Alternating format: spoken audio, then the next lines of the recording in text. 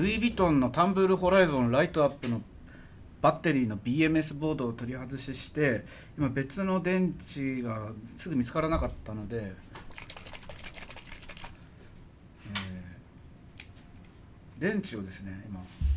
BMS とこれ分離してるんですけど取り付けしていこうと思います。でワットアワーがまあ似たようなタイプでやってちゃんと使えるようになるのかどうか。検証しております。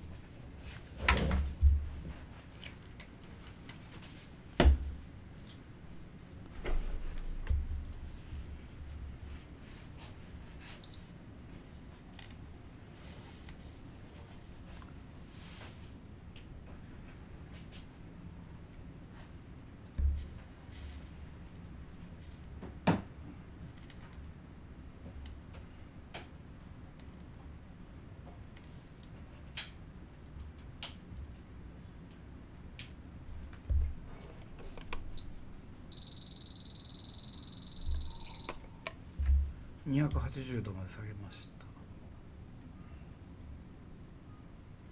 下げすぎ？360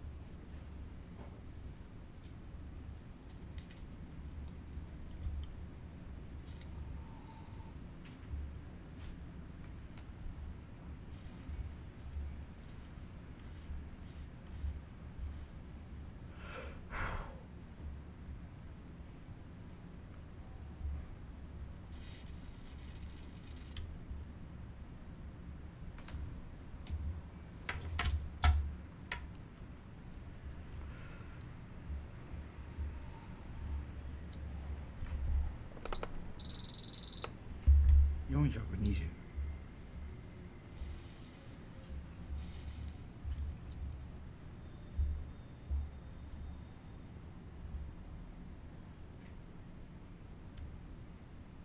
とりあえずこれでついた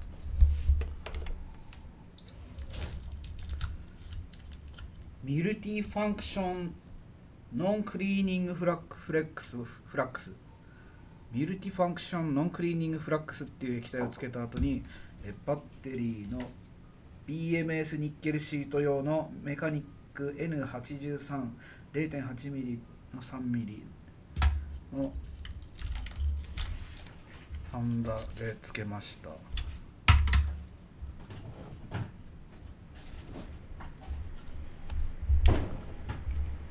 これでつけてみたいと思いますが。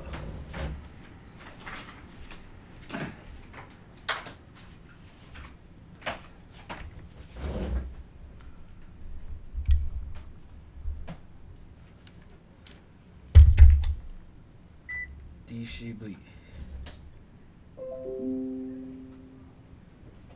一応2.5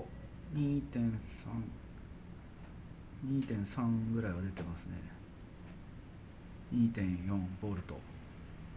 出てるんでこれでつけて直る動くのかどうか試してみたいと思います。